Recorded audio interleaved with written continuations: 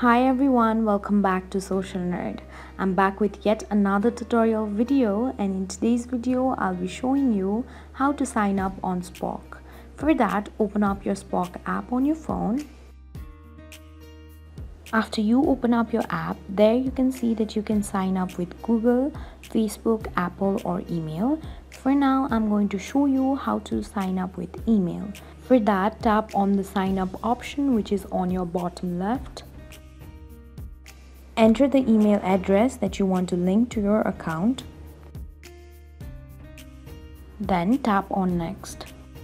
After that, create a password. Be sure that your password is at least 4 characters long and then tap on next. Enter your first name and your last name.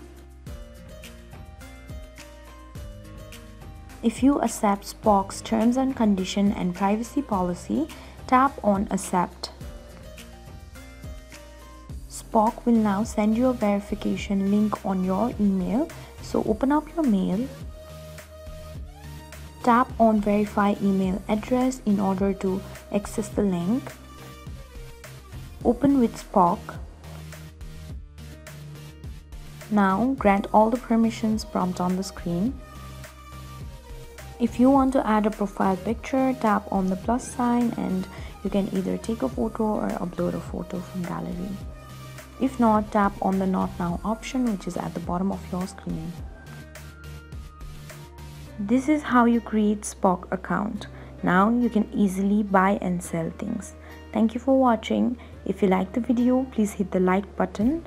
If you want to see more tutorial videos, hit the subscribe button. And if you have something to say, please leave a comment.